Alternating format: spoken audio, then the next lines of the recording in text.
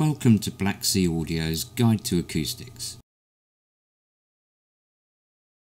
The very first thing to do, without messing around, is chop the audio spectrum into two different areas. There's bass, which is everything below about 300 Hz, which is and there's everything else, which is everything else above 300 Hz. The reason we do this is that the two areas are different. They act differently, they react differently, and they have different effects on both us and the sound itself. First, bass. Bass sounds verily romp round a room in the form of waves, whereas treble and mid frequencies pretty well act like rays of light, hitting and reflecting off surfaces at the same angle at which they hit it.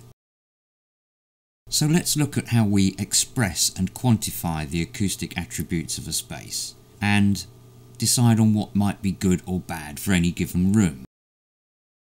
The best, simplest, oldest, easiest to understand, internationally and universally adopted and understood way of quantifying an acoustic space is to note its reverberation time. This is expressed as RT60. The R stands for reverberation, the T for time, and 60 for 60 decibels. So we end up with maybe a reverberation time of 1.3 seconds. That would indicate that a sound takes 1.3 seconds to decay to 60 dB less than its original value. Practically, 60 dB means that we can no longer hear it. So that sound would take 1.3 seconds to decay to effectively inaudible. And this is what that sounds like.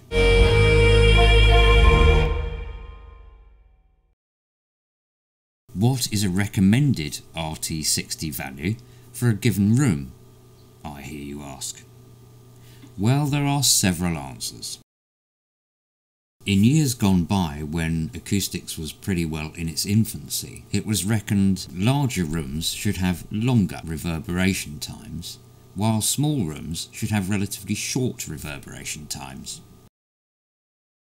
As often happens, we've had a complete rethink on that one, and now reckon it's got more to do with the type of music or the sound than the size of the space. So, for example, a room for live classical music would need quite a long reverberation time, even longer for live choral, whereas, say, a classroom where speech intelligibility is important would need quite a short reverberation time. Practically, current recommendations would suggest something along the lines of 0.4 seconds for a home cinema, while a concert hall for classical music would need an RT60 of a little greater than 1.5 seconds. Actually, achieving a particular recommended RT60 isn't so crucial. You can deviate from that quite a bit, higher or lower, so long as the balance between the RT60 in the bass is good with everything else. Failure to do that and you will definitely end up with a room which is bass light or bass heavy, too dull or too bright. Looking at the graph, a home cinema or hi-fi listening room would sound great if the RT60 fell anywhere between the yellow trace and the purple trace, irrespective of the absolute RT60 value. In contrast, the blue trace shows an RT60 curve that would sound awful at any absolute value. Okay, so we know about RT60. Now let's move swiftly on to the one single most important and fundamental area of acoustics. It's our old friend bass. Bass, as soon as you put it in a room, and because of its wave-like nature that we mentioned earlier, gets up to some pretty naughty little tricks. Basically, it resonates. The frequencies at which it resonates are dictated solely by the room's dimensions. and the frequencies at which it resonates will overhang the general reverberation time of the room by a long, long time. This means it's easy, even quite typical, for certain bass frequencies to overhang as long as 2 or 3 seconds. Or to put it another way, in terms of pop music, you could be hearing the room effects of a bass drum beat still effectively playing the bass drum beat some two or three bass drum beats later. This all adds up to a wodgy, mushy, ill-defined bottom end, complete with robbed dynamics. Not a pretty sight, and not a nice thing to listen to either. It's a sad fact that very few people, even among audio professionals, have even heard a room with its resonances controlled. So, here's a demo.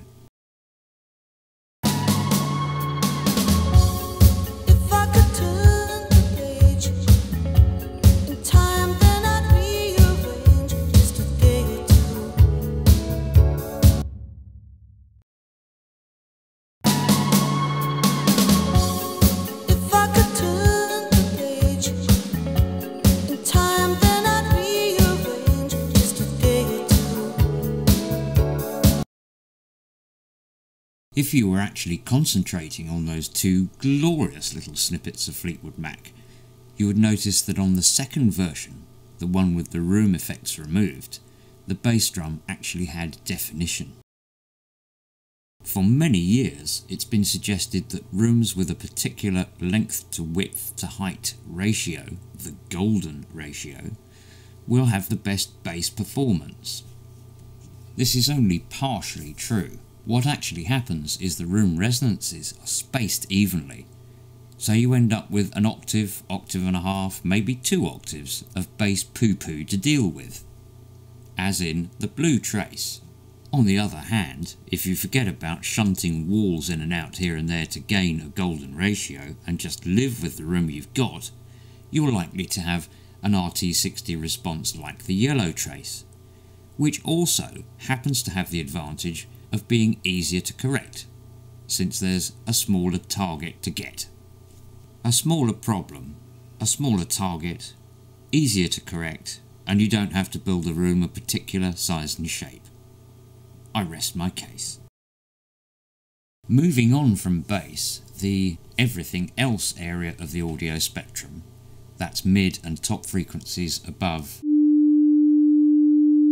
300 Hz are a little less critical and difficult. First, the effects of a drastically long or drastically short reverberation time at these frequencies is less damaging. Secondly, it's unlikely, in a normal room, with some soft furnishings, for there to be such a dramatically long or short reverberation time in the first place. Normally, we would consider there are two in inverted commas, worst things that could happen when mid and top reverberation time is either too short or too long.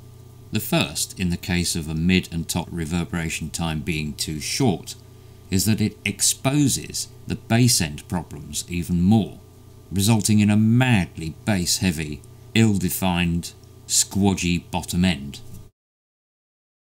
The second worst thing that could happen would be where the mid and top reverberation was rather long. This would result in a very splashy sort of sound.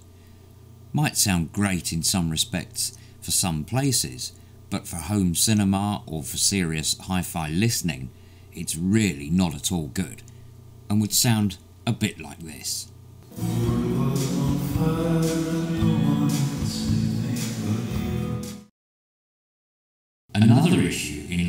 Rooms is you may encounter discrete echoes, which have the effect that you're listening to now on my voice. But don't panic. Normality is restorable, and a mere hop, skip, and a jump away. We'll start with bass, and remember, we have to treat this differently from everything else. The first thing to realise is that the room will give you some free accidental bass absorption all on its own. This is due to the construction of the room itself, and the amount of flex in the walls, ceiling and floor construction.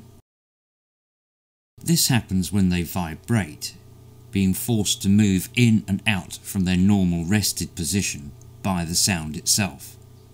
This vibration in turn is wasting energy. The audio energy is being turned into physical mechanical energy and heat energy, and so the audio energy is effectively being used up. This accidental absorption, and so acoustic treatment, generally happens in the upper bass region. That's the yellow section on the graph, and is around about here. This is all very well, and actually quite good news, but does leave room resonances at lower frequencies exposed. That's the red section on the graph, which is round about here. Unfortunately, with the frequencies involved being so low, you can't rely on accidental absorption and have to turn to specific, designed, low frequency absorption units. Fortunately, of course, we do have an answer. RATS, or Resonant Adjustable Trap System, are our own invention, designed specifically to combat the problems of low frequency room resonance. While there are many other ways of treating low frequency resonance, we are confident that RATS offer the most flexible, lightweight, cost effective, space efficient, tunable passive bass absorber system available.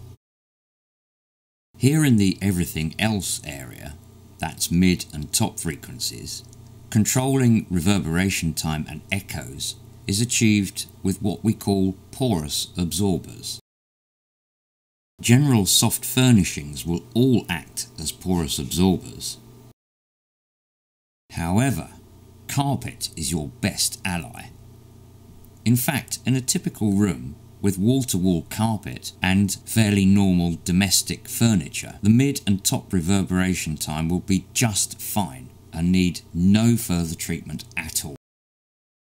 Should a fully carpeted or fairly domestically furnished room still have too long a mid and top frequency reverberation time, once again you'll have to turn to more designed and specific solutions. By far the cheapest and easiest material to use is rockwool or fiberglass thermal insulation. Both of these are a gnat's tadger away from being perfect absorbers. They can be finished in a variety of ways with fabrics, printed fabrics, perforated sheet materials and so on. But be aware, when you cover this, it will alter its absorption characteristics. And also, even more aware that placement within the room is crucially important. To just effectively park a lorry load of rockwool in a corner or at one end of a room will not make it work. However, to make a room sound absolutely any way you want. All you need is these two treatment elements. A good, preferably tunable bass absorber and a good porous absorber. Use enough of them in the right place and you can obtain exactly what you want.